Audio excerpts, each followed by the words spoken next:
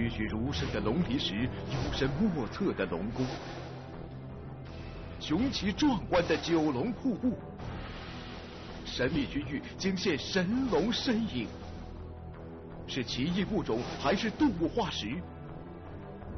解开尘封千年的龙印谜团，《花海龙影》地理中国即将播出。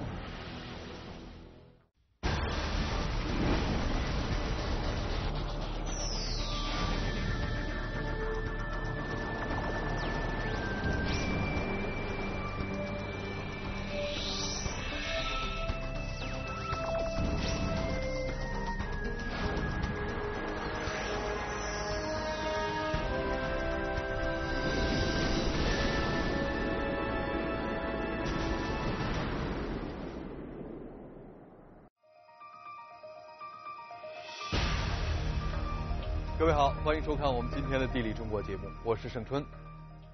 中国云南省东部的罗平县啊，有一个十分神秘的山岭，当地人呢把它看作是神圣的禁地，轻易不能靠近。当地百姓说啊，在那座山里呢藏着一条飞龙，正因为飞龙的庇佑，才让这里的人们世世代代享受着风调雨顺的生活。虽然这听上去啊似乎是一个美好的传说，并无科学依据，但是令人匪夷所思的是，山里不仅发现了栩栩如生的龙鳞，还有当地人世代相传的龙宫。山顶上的石头里竟然还隐藏着各种各样的鱼儿。那么这些现象究竟是真是假呢？罗平县位于云南省的东部。距离昆明市二百二十八千米。早在十年前，罗平就被世界吉尼斯纪录大全列为世界上最大的天然花园。因为罗平拥有八十万亩金灿灿的花海，每年三月前后，罗平县八十万亩油菜花就开始迎春绽放了。无论平地还是山间，蓝天白云下，油菜花浮金连天，金浪翻滚。整个盆地产生出巨大的视觉震撼。然而，当地百姓传言，这个盆地之所以千百年来地肥水美、花香四溢，是由于这里有一条神龙守护着水土，浇灌着数十万亩油菜花形成的花海。以前记得住的一条神龙，这个每到天气变换的时候，保一方平安。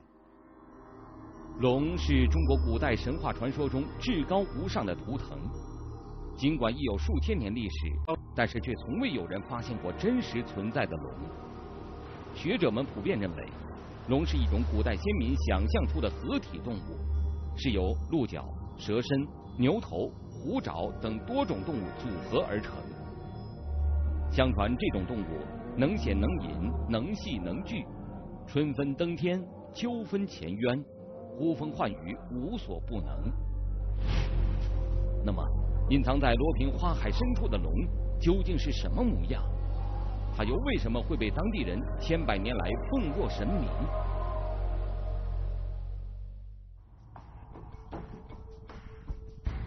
为了解开这些未知的谜团，云南师范大学旅游与地理科学学院的王家学教授带领地理中国摄制组一同前往罗平。展开科学考察。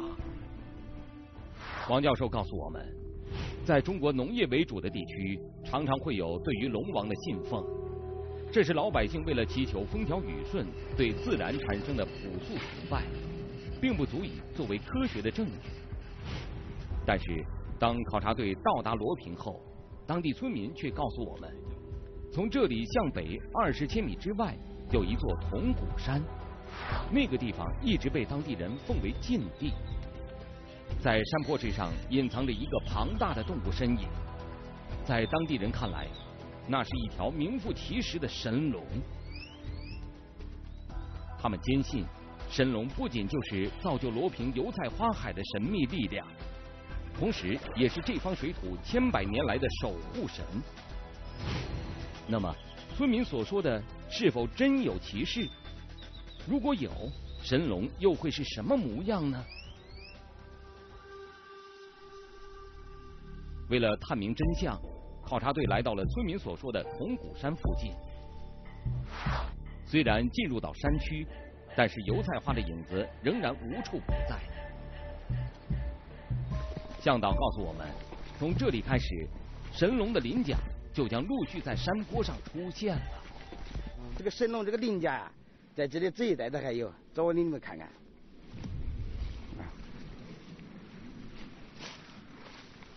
在向导的带领下，考察队沿着山沟向铜鼓山腹地行进。考察队在怪石嶙峋的山沟中行走了大约二十分钟后，终于来到了村民所说的神龙附近。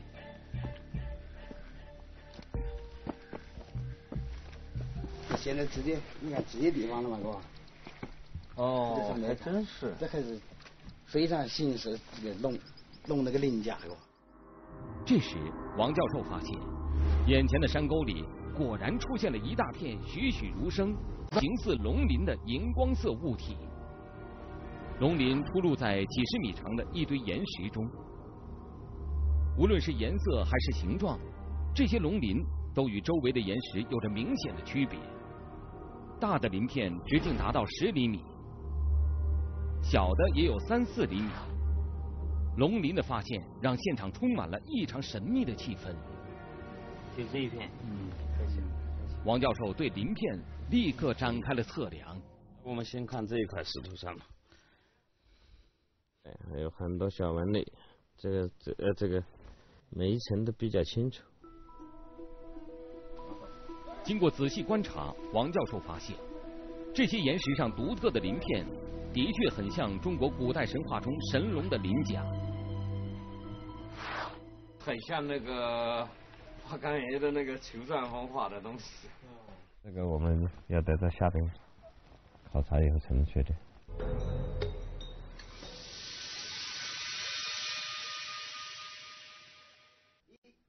岩石上为什么会出现绵延几十米长的所谓的龙鳞呢？刚才在考察当中啊，王教授提到了花岗岩这个词，他向我们介绍啊，这些形似龙鳞的东西呢，与球状风化的花岗岩有几分相似。我们知道花岗岩是岩浆在地表以下冷却后变成的岩石，如果这些龙鳞是花岗岩的话，周围就应该有火山活动的痕迹。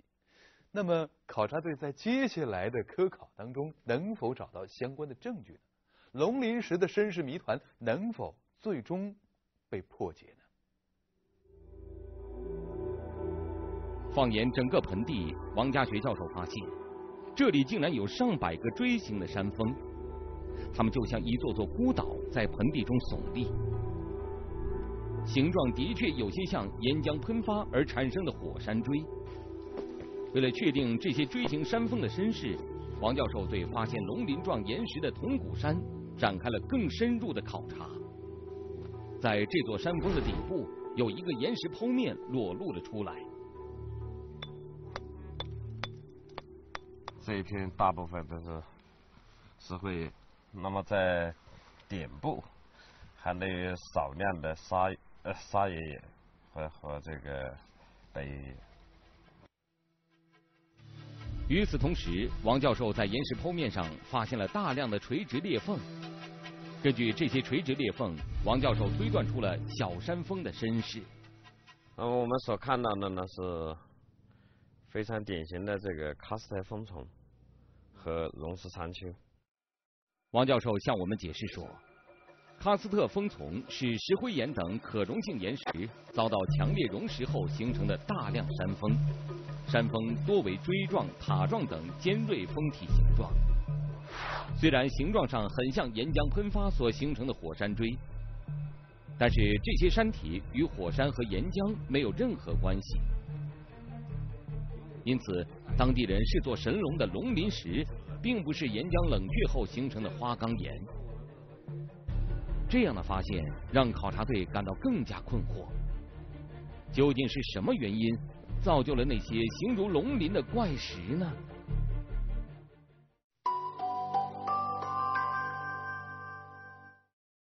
各种推测逐一排除，龙鳞石的身世谜团变得更加离奇难解。科考队寻踪觅源，在迷雾中继续探求真相。花海龙影，地理中国正在播出。这时，老乡又告诉了我们一个当地非常奇特的现象。啊，我们山上那个石头石头里面有鱼，石头里竟然有鱼，这让王教授感到十分好奇。在老乡的带领下，考察队爬上了山顶。在山顶的岩石中，队员们果然发现了令人惊奇的景象：一条条黑影仿佛在岩石中游弋一般，其数量和精美程度让在场的所有人都感到了震惊。老乡说，山顶上的这些鱼，相传是巨龙的卫队。数千年来，这些鱼一直在山顶与神龙相伴。然而，经过仔细的观察，王教授判断，岩石中的这些身影都是古代海洋动物的化石。这里是一个罕见的三叠纪古海洋生物化石群。初步可以判定，基本属于这个三叠纪海生生物的一化石。在众多化石中，一种巨大的史前生物的化石吸引了王教授的目光。这是曾经称霸海洋的巨型怪兽鱼龙的化石。鱼龙的标志物，那副大到令海洋群落闻风丧胆的大眼睛，仍旧清晰可见。王教授说，出现在2.5亿年以前的鱼龙，最长的体型超过了20米，体重达到了100吨，是一个名副其实的庞然巨龙。这个是非常珍贵的一种化石。看到了这么多栩栩如生的史前生物化石，联想起刚才在山坡上发现的龙鳞，考察队不禁发出疑问：那些石头上的鳞片，会不会是一种巨型恐龙形成的化石呢？当我们再一次回到龙鳞的所在地时，王教授再一次对这些大大小小的圆形痕迹展开了测量。最终，他告诉我们，古代爬行动物身上的鳞片大小厚薄非常均匀，不可能出现眼前这样大小不一的情形。而且，在龙鳞石的周围，并没有发现与之配套的生物骨骼化石。因此，这些形似龙鳞的东西。绝不可能是史前恐龙的遗体形成的生物化石。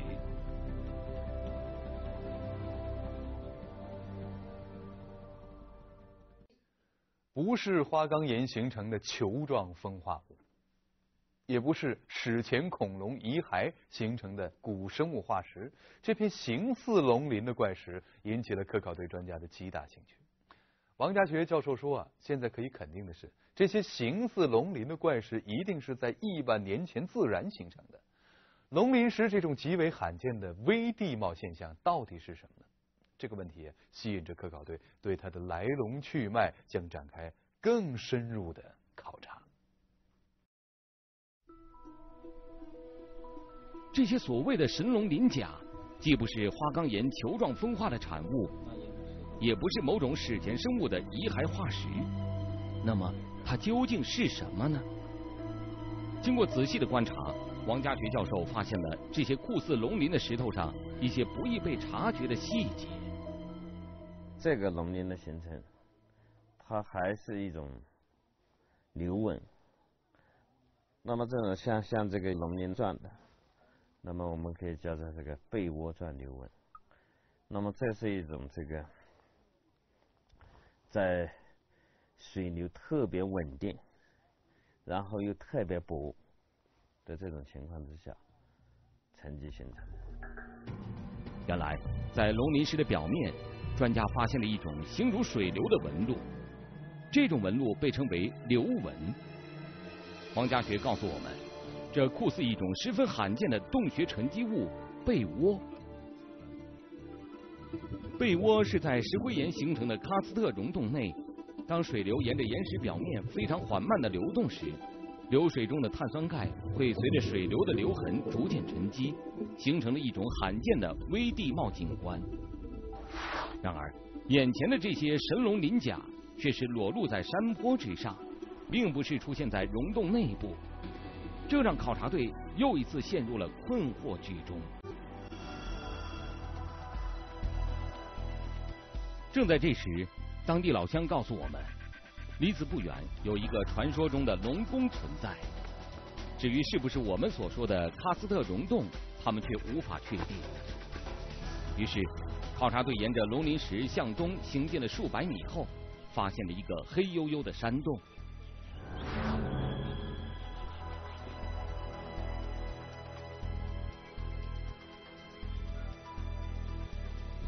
刚进入洞口，考察队眼前就出现了一个洞厅，两根硕大的石柱连接着洞底和洞顶。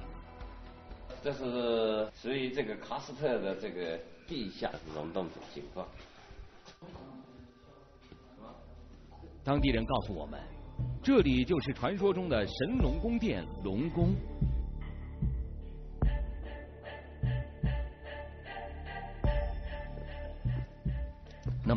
这里能不能发现典型的喀斯特沉积物被窝呢？向龙宫的深处行进了三十分钟后，一个奇特的景象引起了队员们的好奇。只见几块巨大的岩石上，密密麻麻的布满了蜂窝状岩石，像缓缓流动的波浪，又像古代士兵所穿的铠甲。在灯光的照射下，形成一个个立体有质感的小光影，层次分明，非常奇妙。王教授兴奋地告诉我们，这些凸凹不平的蜂窝状岩石，正是那种极为罕见的溶洞景观——被窝。这是被窝，很微小的这个水流，然后沿着这个面上流。沉积形成的，这个就很近似于我们那个开的那个农民的那个状况。溶洞中奇特被窝的发现，让王教授找到了破解龙鳞石的关键证据。他告诉我们，山坡上奇异的神龙鳞甲，也许就是面积更大、时间更为古老的罕见碳酸钙沉积物被窝。尽管我们在洞穴中如愿以偿的发现了稀有的碳酸钙沉积物被窝，但是王教授告诉我们，关于那些神龙鳞甲的疑问却依旧没有完全解开。因为世界上几乎所有的被窝都出现在地下数十米深的洞穴中，而这里大片的龙鳞石却暴露在山坡的地表上。这样的反常现象让王教授觉得。我们还必须展开更加深入的科学考察。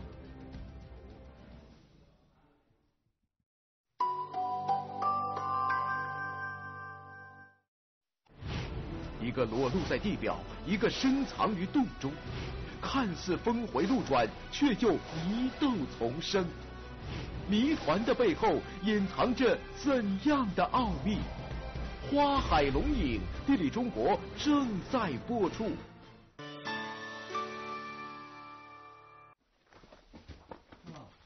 走出溶洞后，考察队在龙鳞所在的小山沟附近发现了很多溪流。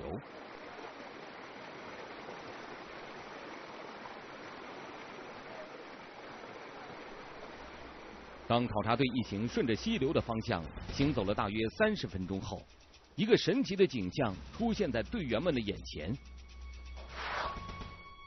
只见在约四千米长的河道上，一条瀑布竟然不断下跌。构成了九个大小不等的瀑布。当地人告诉我们，这条瀑布有一个特别的名字——九龙瀑布。由于九龙瀑布就在发现神龙鳞甲的山谷下方，王教授推测，这条以龙命名的瀑布很可能与龙鳞石之间有着某种必然的联系。王教授坐上竹筏。前往最大的一级瀑布去一探究竟。这条瀑布是九龙瀑布的第二一台阶，高五十六米，宽一百一十四米。我们的这个岩层走向，指向跟这个水流的方向相反。经过仔细观察，王教授发现，瀑布旁边的岩层倾向和水流方向正好相反。于是专家推测，这个巨大的瀑布是由一个喀斯特溶洞坍塌后形成的。这一条断裂会形成这一个高坎，下边形成溶洞，那么溶洞垮塌，岩层垮塌以后，那么就可能形成瀑布。王教授向我们解释说，这个高达五十余米的大瀑布和原来所在的区域是一个喀斯特溶洞。当地表流水遇到反向倾斜的岩层时，就会逐渐向内掏蚀。千万年的掏蚀之后，溶洞越来越深，最终顶部坍塌，形成规模宏大的瀑布。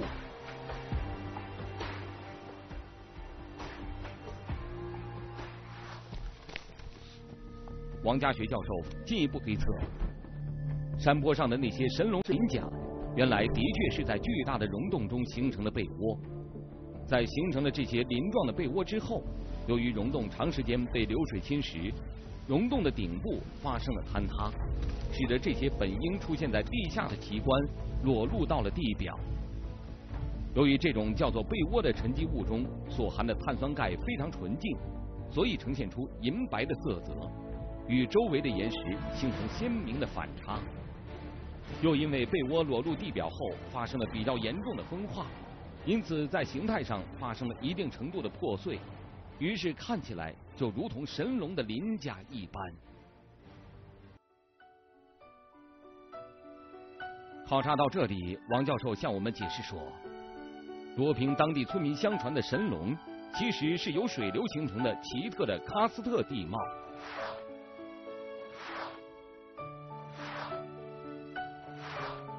在中国农业为主的地区，对于神龙的信奉，往往是对风调雨顺的期盼和对于大自然水资源的尊崇。当地人对神龙的这种想象和崇拜，与这里充沛的水资源、水文化是密不可分的。而罗平正是因为有了丰沛的水资源，才使得当地百姓在这个天然盆地之中，创造出了美如仙境的家园和幸福安康的生活。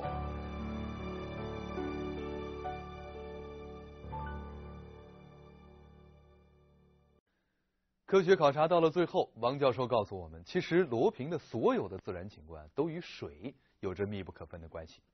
由于罗平所处的特殊的地理位置，全年的降水量高达一千七百四十三毫米，是云南省降雨极为丰沛的地区之一。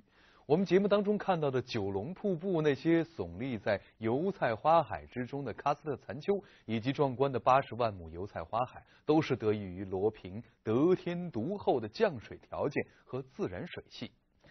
尽管这里并不存在龙这种神话物种，但是由于罗平地区水资源非常丰富，长年以来风调雨顺，因为当地自古就有“龙为水物”的说法，因此。那里的百姓对于水的尊崇，也表现出了非常淳朴和真挚的情感。好了，感谢您收看我们今天的《地理中国》节目，我是盛春，明天见。一座隐秘于山中的幽静湖泊，一种美丽祥和、流传了千年的神秘候鸟，是什么原因让他们在此聚集？他们背后诉说着哪些未知的谜团？摄制组深入调查，为您揭开鸳鸯越冬的奥秘。鲜活爱情鸟，地理中国下期播出。